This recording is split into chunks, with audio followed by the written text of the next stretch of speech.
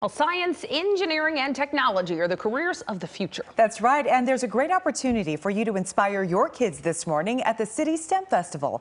KCAL News reporter Tena Ezzeddine live at the Los Angeles State Historic Park in Chinatown, where the event has just gotten underway. How's it going, Tena? Yeah, uh, uh, as you mentioned, just started uh, the event at 9 o'clock, so we're about uh, 20, 25 minutes underway. I'm told they're expecting some 15 to 20,000 people out here today, uh, people getting their science on, so that's fun. Uh, we're going to show you now that it's kind of kicking off a little bit what some of these booths are looking like because there are 180 displays out here of people that are going to be showing off their scientific side and their creative side, and you're looking live from our camera at some of them uh, as well. So uh, a lot of people expected out here today, and it's going to be a good time. Uh, throughout the morning, I have been introducing you to my newfound friend Ben, uh, who's going to talk to me a little and us about science and how it's looking so far out here. It's looking great. It's a beautiful day. We've got tons of people out here already and lots of activity going on. Uh, now we're just getting ready for the man of the hour, Bill Nye the Science Guy, you know, presented by Financial Partners Credit Union. It's so great that they're helping us out.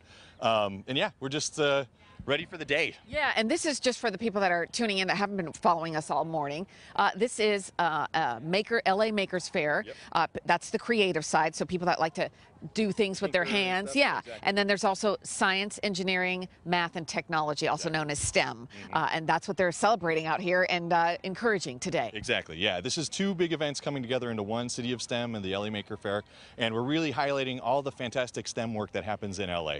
Um, this is a real STEM town. There's innovative innovative companies, and SpaceX is here, and they're shooting rockets off, and this is all about putting a magnifying glass on it for one day. So after I left you the last time, I had the pleasure of interviewing and meeting two sweet young girls, one eight and 10, and they are the smartest things. I got to tell you, it's yeah. very impressive. Girls in STEM. Yeah, I mean, that's what we're doing it for, right? It's for inspiring that next generation of innovators and scientists. The Girls in STEM Club at the Space Center is such a great thing, and, and they're so game for coming out to something like this. Yeah, it's yeah, really they were great. teaching me. yeah, exactly. Yeah. Okay, so there are some things that are flying in the air. Uh, I Well, they were just a minute ago. Okay, there's one. Um, I, that caught my attention. I'm like, what's flying in the air? It's not pollen, and it's not bugs. It's not gnats. So right. why don't you tell me what we're looking at, my friend? So we're looking at uh, a bubble machine that's filled with helium so helium, you know, it's like in a balloon that flies up. So these are bubbles with helium in it, and they're just going to go up until they all pop up there. And they're in the shape of hearts.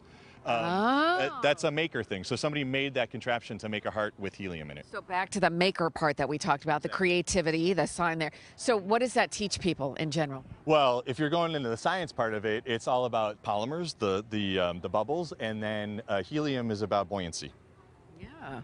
I like that. And then the creative part about, you know, adding Making a little, and a heart. Exactly, yeah, yeah exactly. Yeah. That's what it's all about, right. Uh, what do you get out of this?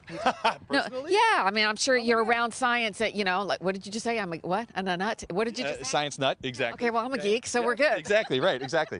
this is what I get out of it. This is a day where all, all the people that I love come together at one time and just really, I'm, I love science, right? We should all love science. It's all around us, and that's what this is all about. Is At least not be intimidated by it, right? exactly, right? Right. Everybody can do science Everybody's a scientist. Um, it's not a, an elite kind of a thing. And you come down here and you see all these people doing great stuff, sometimes in their garage, and it's just a it's just a thing that they do. And that's what everybody should feel like around science. And they can do that when they come out here today. Exactly. Yeah. Thank you so much, Ben. Uh, it's a free event, as I mentioned uh, throughout the morning. Started at nine, so about half hour ago. Goes until five. Free parking. Just come on out, uh, get your science on, and you know maybe you're not into science, but you're into libraries. The LA Public Library uh, is out here as well, uh, and there's different uh, events and different booths where you can just really get into some of the crafts and the events and the creativity that they offer at the library. One last thing before we go. Uh, you may think to yourself, okay, with inflation and things going on, I can't afford to take the entire family to museums in LA.